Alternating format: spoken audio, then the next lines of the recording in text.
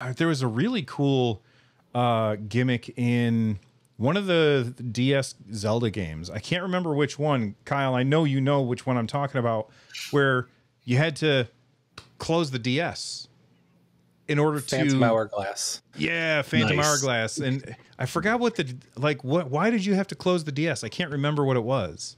Uh, it said you had to touch. Uh, what was it? It was touch like something on the map with something else on the screen. I forget exactly what it was, but like the the map was on the top screen, so you couldn't actually physically touch it.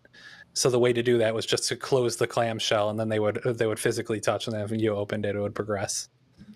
And when when when you did that and then you opened it back up and you got that sound, you felt like a goddamn genius. You were like, "Oh my god."